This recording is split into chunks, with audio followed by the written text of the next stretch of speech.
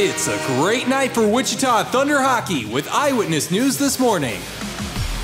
Come hang out with us on January 17th when the Wichita Thunder take on the Quad City Mallards at INTRUST Bank Arena. Plus, you can audition for CBS's Amazing Race. If you have what it takes to compete in challenges around the world with a chance at a million dollars, you won't want to miss this. So throw on your Thunder gear and come hang out with us January 17th.